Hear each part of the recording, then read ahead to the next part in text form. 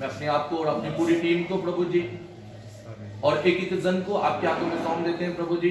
और प्रभु दास को, प्रभु जी अभी जॉन को, पिता वियन भट्टी को, प्रभु जी। और हमारी पूरी टीम को यीशु आपके लोगों को ब्लेस करते हैं। जिन्होंने प्रभु जी उपराला किया कि प्रभु हम पिता कुछ कर सकते हैं, आपके लोगों के लिए पिता। प्रभु आपने हमें हिम्मत दी पिता।